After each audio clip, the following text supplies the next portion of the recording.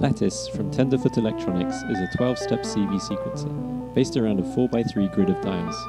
Each dial represents an unquantized control voltage. There are four inputs and one output.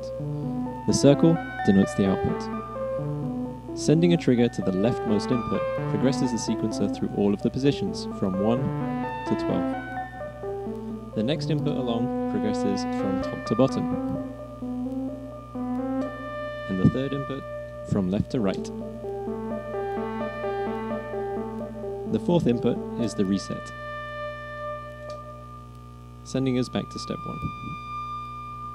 Using a combination of these inputs can produce interesting and evolving melodies.